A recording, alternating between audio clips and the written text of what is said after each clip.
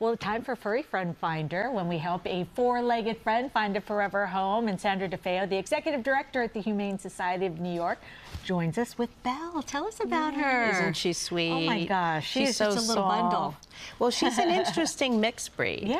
Um, we did the DNA on her. I'm glad that Uh-huh. we did, so we can tell you. She's a Chihuahua mostly, about Mm-hmm. 50%, and then the that. rest, you're gonna love this. Okay.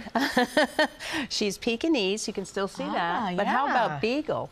Oh, I never would have guessed that. And pug. Well, the pug you can see Yeah, for the a little bit in eyes. the nose. But that's her DNA. Isn't that interesting? She is very unusual looking. Yeah, she is. She's one of a kind. Super chill. Seems like.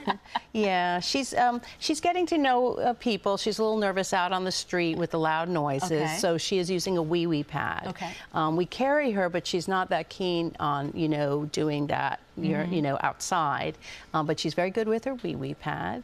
Um, she's a year and a half. She's eight pounds. She is spayed, vaccinated, everything, ready to go home. Aw. Yes. And how do you think she will do with, you know, families, little kids, other other pets? Well, she's a really good lap dog. Okay. And um, she's good with other small dogs. I don't know with cats, I probably wouldn't be a great idea because her little eyes, as you can see, they sort of pop out a little bit. They might be more vulnerable. I know. They're so cute, right? I love the way they pop out a little bit. Yeah, it's very soulful.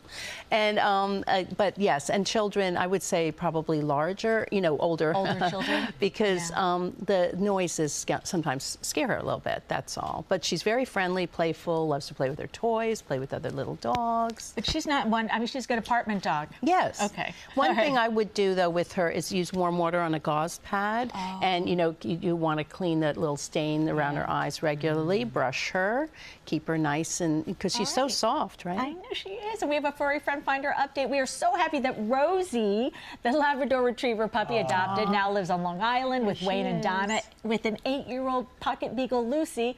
Rosie's officially housebroken, going everywhere with Wayne, and they're all in love with Rosie and delighted she has a wonderful family. Yeah.